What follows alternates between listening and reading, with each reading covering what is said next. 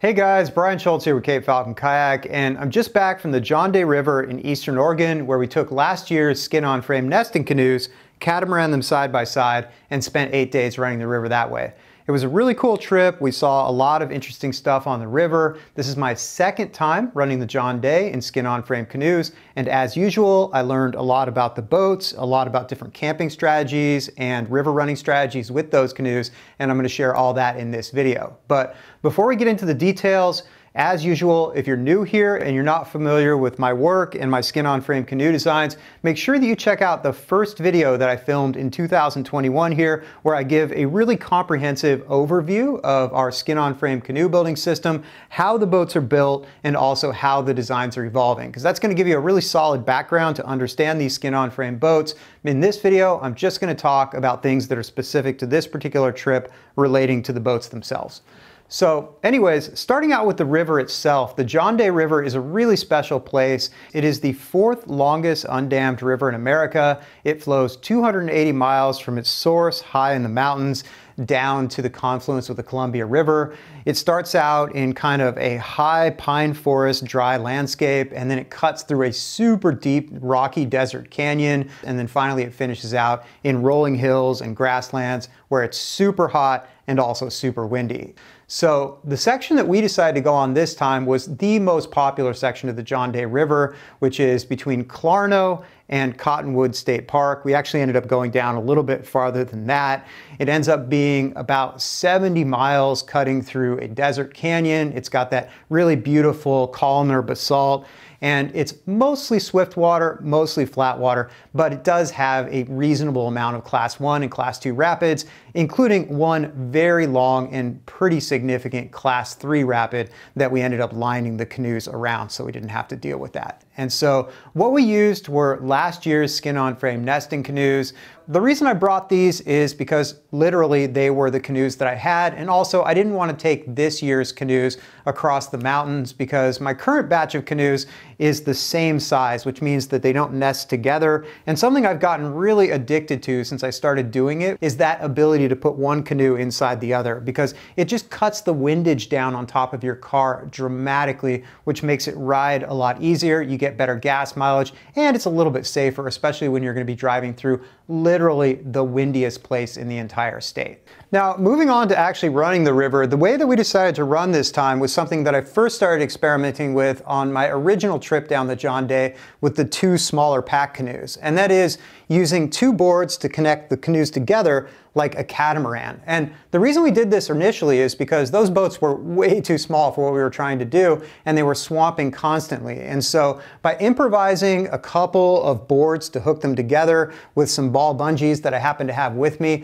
we were able to run the rapids and even though we would swamp, we were still upright, we could still paddle the canoe and we could still maneuver. And it was also pretty easy just to bring it to shore and dump it out. And by the end of the trip, we were sold on it. It's actually a really fun way to run a river. And so over the last three or so years, the catamaran system has evolved to be a permanent feature of our skin-on-frame canoe building system. With the inherent flexibility of the framework, combined with some of the reinforcements we do, combined with the bungee attachment system, it allows the canoes to feel reasonably stiff while you're paddling them side by side, but also have enough flexibility to articulate over waves if you're running rapids or even if you're just out on a lake that has some big waves that you're going over. Now, just kind of generally, I want to go into this in more detail because it's something people have a lot of curiosity about. The advantages to running catamaran side by side is one, it's a really cool social experience. When you're in a long tandem canoe, oftentimes you're talking to a person's back and it feels like you can't communicate as well as you might like to. And if you're just relaxing and having lunch, it's not quite the same social experience as just sitting beside someone where you could look over and talk to them, you can pass things back and forth. Also, it's nice to be that stable because it means you can stand up to look downriver. And especially if you've got a rapid coming up, I can boat scout things that I might have to land and otherwise scout by walking. So it's a little bit more efficient that way and it gives me an extra 100 yards or so to plan what I'm doing. It also just makes a nice stable platform for photography or for fishing if you're into that. If you've got kids, you've got dogs, obviously hooking the boats side by side is going to make it a lot less likely that somebody's going to get rowdy and tip one of the boats over.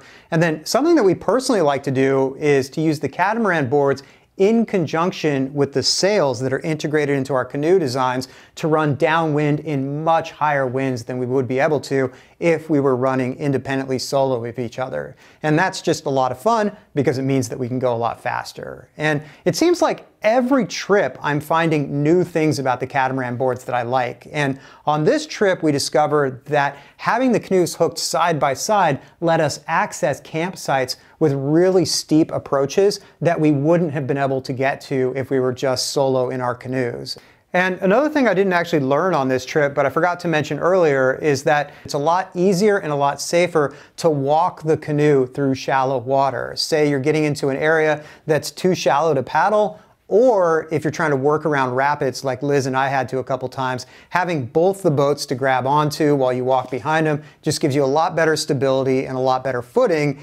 And then finally, the boards themselves actually provide a flat enough, comfortable enough surface that they give you an alternate sitting position. So if you get tired of kneeling or being crouched down on the seat, you can just sit your butt up really high on the catamaran board and just gives you a nice stretch. Also just gives you a little bit better vantage. So lots of cool things about the catamaran system, but just like everything, there are downsides as well. And specifically what I'm talking about here doesn't relate so much to the catamaran itself, but just the difference between two solos versus one tandem. And anytime that you've got two solos, you're always gonna have more wetted surface, which means you're going to have a little bit more drag, and you're also going to have more frontal surface facing into the wind, which can especially be frustrating when you're running on trips where you have headwinds.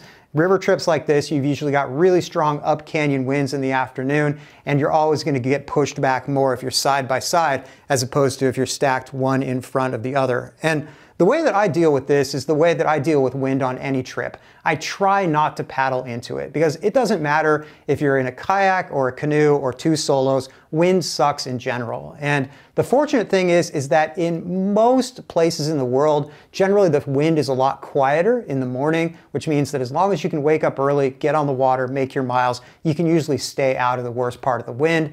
And getting up early also gives you the advantage that you're gonna see a lot more animals and usually you're going to get your pick of campsites because everybody else is usually getting on the water later. And just as you're looking for campsites, everybody else is out on the river still trying to make their miles. So lots of advantages to just waking up early and skipping the wind in the first place. And actually, now that I think about it, traveling with two solos catamaran together is actually going to be more efficient than traveling with two solos separately because one of the big things that detracts from the efficiency of solo canoes is the time that you spend waiting for your corrective stroke. So having two boats together side by side means that even though you're going to have more windage coming straight forward than you would in a tandem, you are going to be able to lean over and just keep digging and digging and digging and really pushing into that wind. But of course, it's always better if you don't have to. So anyways, that was a lot longer than I meant to go on about the catamaran system. It's just something I like to talk about because obviously I'm excited about it. It's not something you see people doing very often, but as long as you design the entire system to be able to handle the forces that are involved, it can be a really interesting and really versatile way to get out on the river. And then very last thing here I want to mention is that it is simple enough that you can take it apart even if you're on the water, which means that anytime you want to, you can switch to being two independent solos. So that's it for the catamaran boards. Now let's talk about how these boats were actually constructed and how that construction fares against the demands and the conditions in this kind of a trip. Now, the way that these boats were built is with what I call my standard layup, which is red cedar stringers, white oak ribs, a nine ounce nylon skin, and four coats of two part polyurethane. And what that would be equivalent to in other types of canoe building is a medium weight carbon Kevlar layup. So something that is designed mostly for flat water and swift water, something that has enough strength to handle the occasional impact, but not something that you want to be heading out with heavily loaded boats and crashing into stuff all day long like we did on this trip. So obviously these boats weren't designed for this kind of a use, but sometimes I find that by taking boats that are built a little bit too lightly and really pushing them and crashing into things, I can learn things about where the vulnerabilities are in the design, which occasionally lets me reinforce things selectively as opposed to making the whole frame a lot heavier. So Normally, if I was designing a boat for this kind of a trip where you are gonna have a lot of gear and you're gonna be crashing into things, I would go with spruce or pine stringers. I would probably make the ribs a 64 thicker. I would bump up to a 12 ounce skin and I would probably put four coats of polyurethane around the whole thing and two extra coats of polyurethane across the bottom. And that's gonna be more matched to the kind of things that we were doing.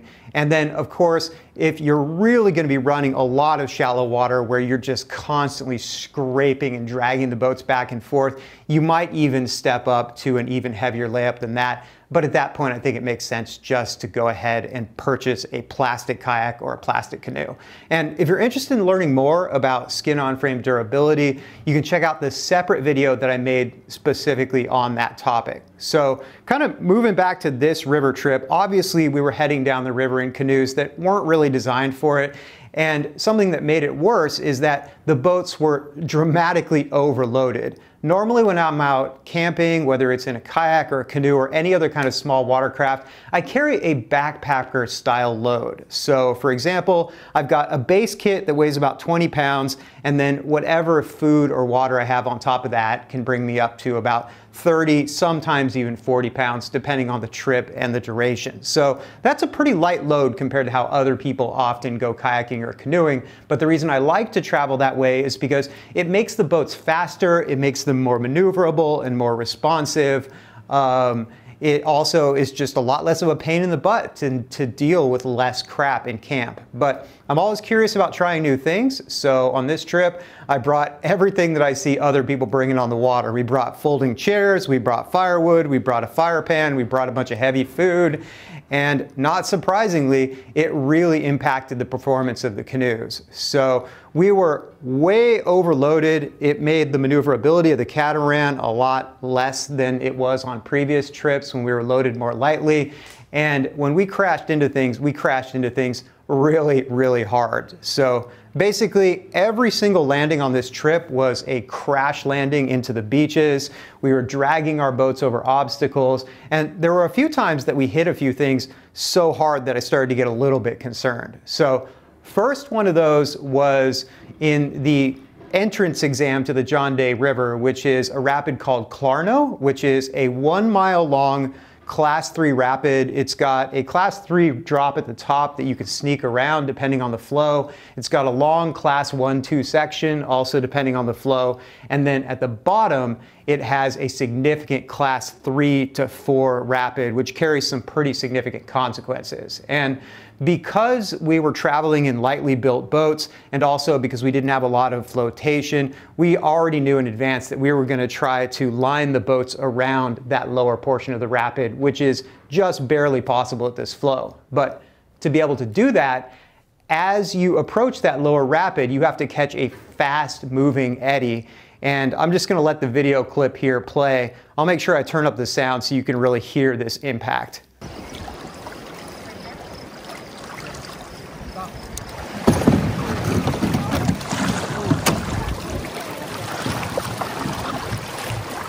So not exactly the most friendly thing to do with a lightweight layup skin-on frame canoe, but it didn't damage it, it didn't punch any holes in it, it just ended up wearing the rub strip at the end and also scraping up the bottom pretty bad. And then we worked our way around that rapid. And that was really our strategy for this entire river, which was to run the flat water, the swift water, the class one. And then as we started getting into the class two to three territory, which there's only two places the entire river that are like that, we just took the conservative route and either walked the boats around or lined the boats around so we didn't take any risks with those heavily loaded boats without enough flotation. And that isn't to say that you can't use skin on frame boats in those circumstances. You just have to do what I was just talking about, which is build it a little bit more heavily. And then just like any type of wilderness trip in a canoe, you want to make sure you've got a ton of flotation if there's a chance that you're going to end up swamping and swimming beside the boat so it doesn't get wrapped around a rock. So anyways, our second major impact was actually completely my fault. I was spending time, as usual, focusing on filming as opposed to focusing on what I was supposed to be doing. And I started a ferry just a little bit too late to sneak around a rock. We ended up crashing into that straight sideways. And I'm just gonna let this piece of video run as well because it's kind of entertaining. Oh my god! Oh my god!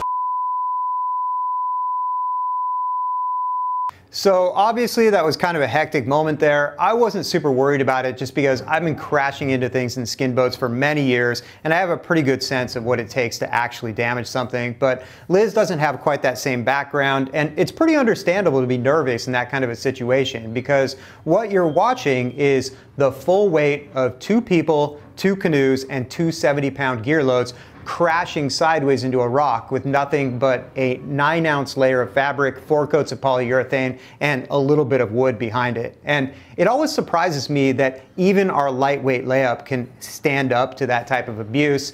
But like I said before, if it's something you're going to be doing frequently, you do want to bump up to a heavier layup. Otherwise, you're just going to wear things out prematurely.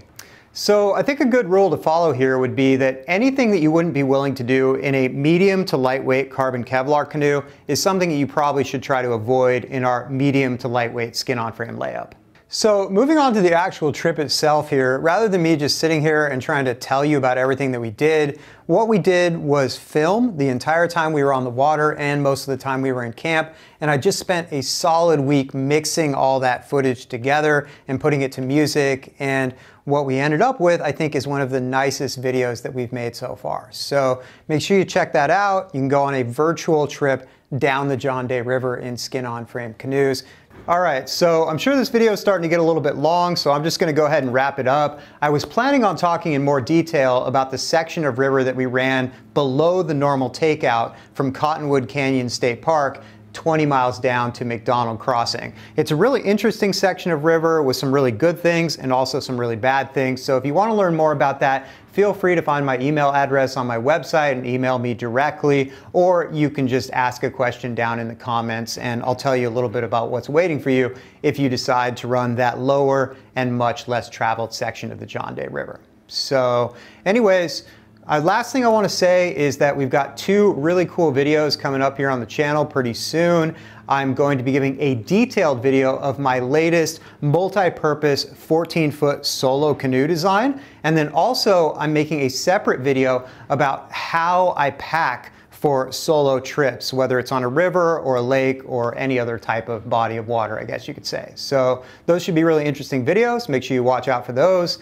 As always, if you like this video, make sure you hit that like and subscribe button. You can also find me on my website, capefalconkayaks.com, where I have skin on frame building videos, plan sets, and various free skin on frame resources. You can also find us on Instagram at Cape Falcon Builds, where I post a daily build blog of everything I'm doing here in the shop. And even if you're not normally a social media person, I would really encourage you to check out the Instagram. Making YouTube videos like this is really time consuming. And what that means is that most of the stuff that we do never makes it onto the YouTube channel Whereas on Instagram, it's really easy for me to throw up videos and photos and text, and I can share a level of detail that you're not gonna find anywhere else except for inside of my paid courses. So a good example for that would be I just finished a nine part Instagram series that goes into a lot more detail about specifically running the John Day River and what you're gonna see on different sections and I'm always talking about the design work that I do here, sharing my successes and my failures to really bring you guys into the skin on frame design process. So once again, that is at Cape Falcon Builds on Instagram if that interests you. That's it for now. Thanks for watching. Take care, be safe on the water, and have fun building your skin boat.